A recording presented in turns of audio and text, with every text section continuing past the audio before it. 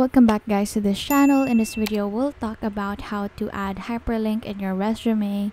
So here on Canva, make your resume in here and then click your email, click this link icon and then type mail to colon and then type here your email account that you put in this resume.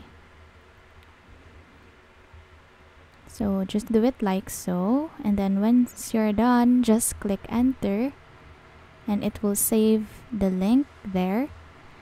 And then for your website just select that and then click the link again. And then just put here the website or the URL and then after that just click enter again and then the link will be added.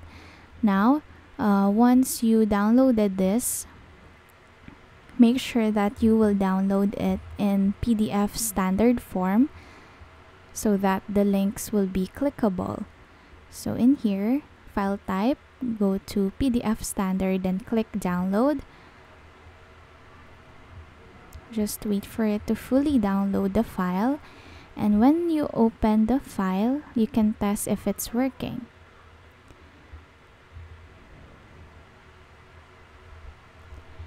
So let's check if it's working.